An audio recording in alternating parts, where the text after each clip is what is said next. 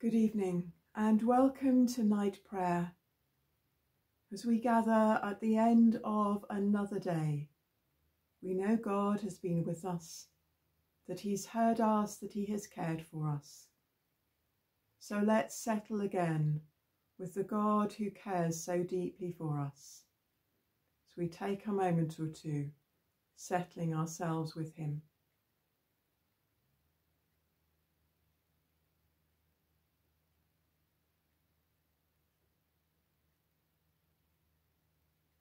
Psalm 68, verse 19. Praise be to the Lord, to God, our Saviour, who daily bears our burdens. The Lord Almighty grant us a quiet night and a perfect end. Our help is in the name of the Lord, who made heaven and earth. We bring to him the things of this day, known to him, known to us, the one who carries our burdens.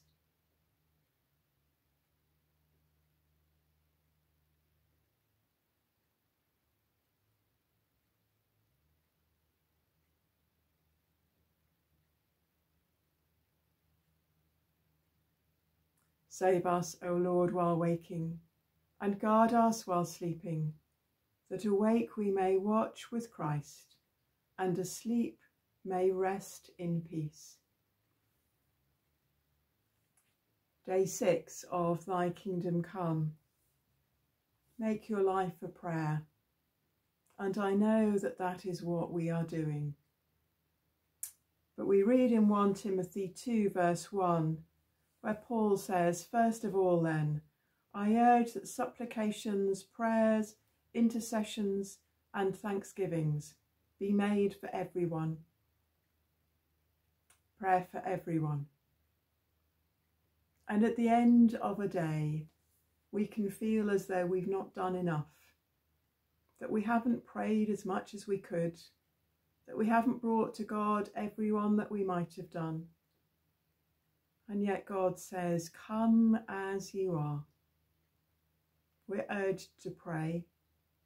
And I'd encourage you to recognise those places where you have prayed today, where you have prayed with words, where you have prayed and acted in responding to the needs of others,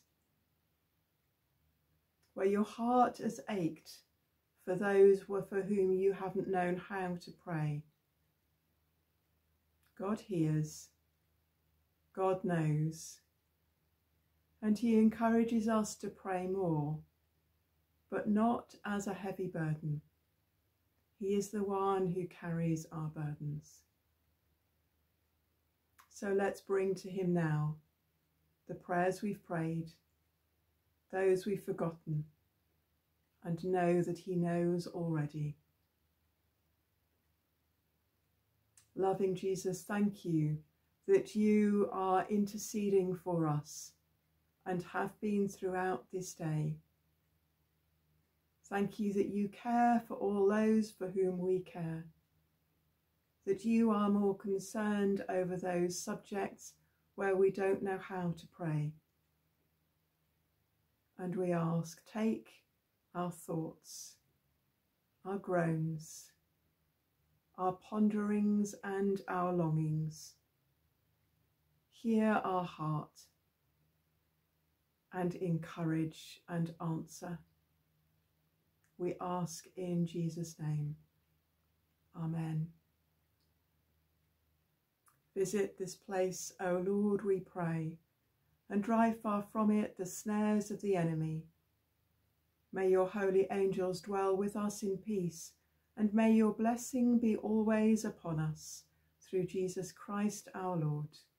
Amen.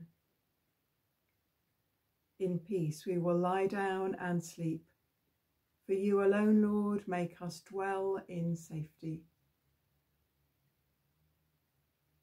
The Lord bless you and make his face shine upon you. The Lord assure you that he hears your prayers the Lord encourage you as you pray and grant you his depth of peace as you sleep this night. Amen. Bless you and sleep well.